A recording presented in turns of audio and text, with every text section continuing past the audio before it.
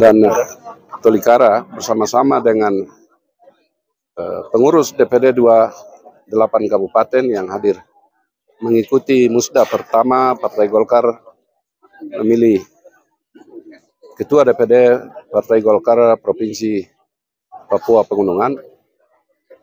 Kebetulan tadi saya terpilih secara aklamasi dan didaulatkan sebagai ketua oleh Ketua Pemenangan Pemilu Partai Golkar DPP.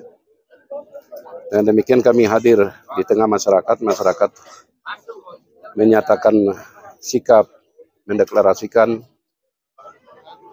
dari kader Golkar menuju Papua Pegunungan. Dan ini sebuah amanat dan terukil kembali sejarah pada tahun 1997. Saya datang kampanye di sini, orang tua semua nobatkan, daulatkan saya sebagai panglima perang. Dari situ panglima perang bukan untuk perang bunuh orang, dari panglima untuk memperjuangkan pembangunan. Dan demikian kita wujudkan perjuangan begitu saya terpilih anggota DPR Kabupaten Jayawijaya Partai Golkar. Kami perjuangkan mulai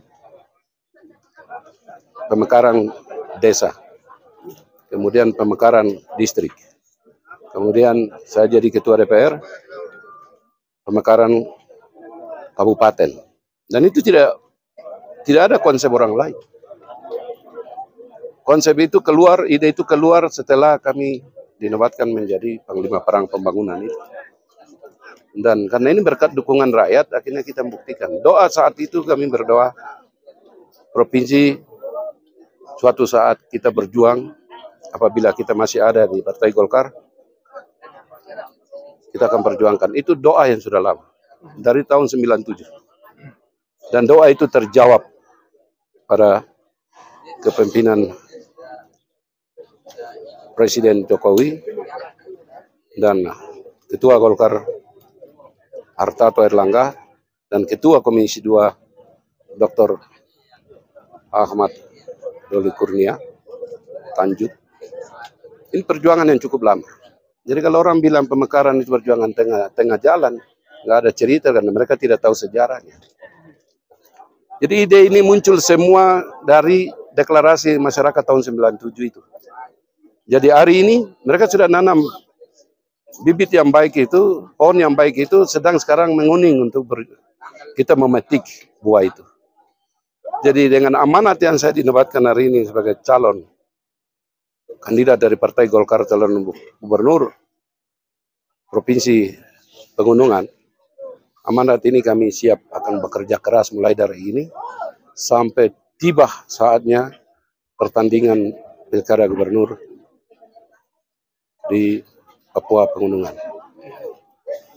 Kami mohon supaya semua dukungan masyarakat doa dengan deklarasi ini menjadi suatu doa pergumulan kepada Tuhan supaya cita-cita dan amanat rakyat ini bisa jadi kenyataan.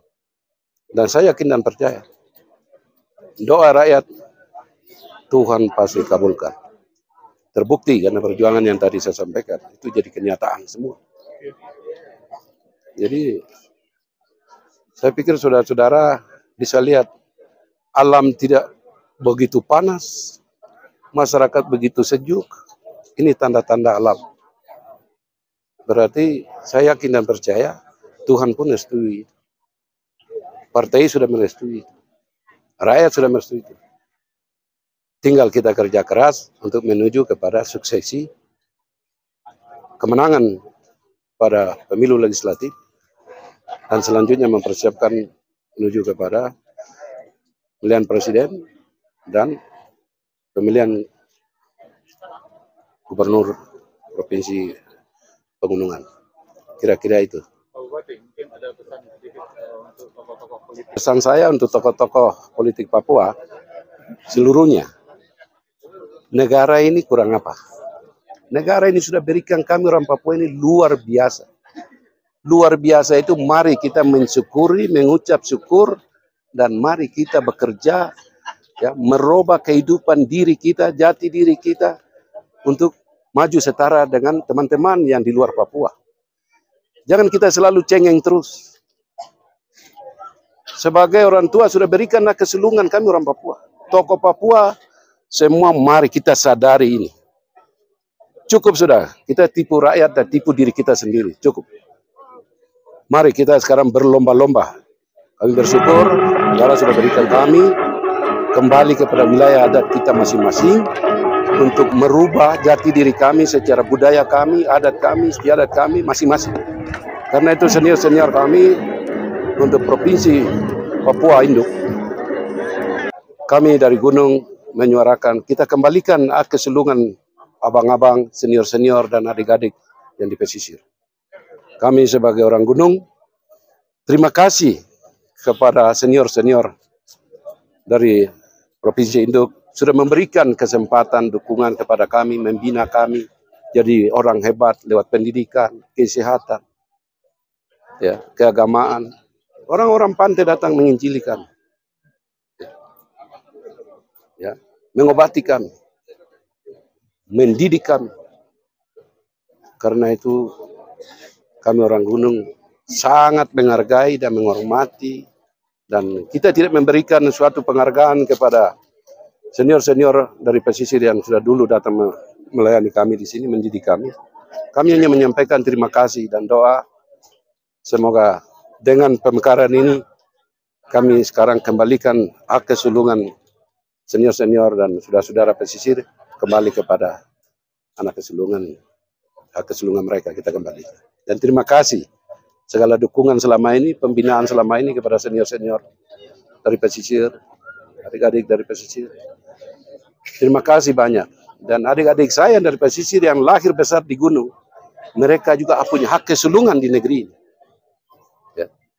mereka tidak juga harus pulang ke pantai tidak anak gunung yang lahir juga di pantai sama.